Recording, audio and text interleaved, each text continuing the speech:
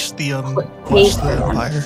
Like last oh. year, it was free for like all the AP tests are oh. free. Originally, they were five dollars, but then they made it free. Oh my god. Five? Either gonna be free this year or it's gonna be back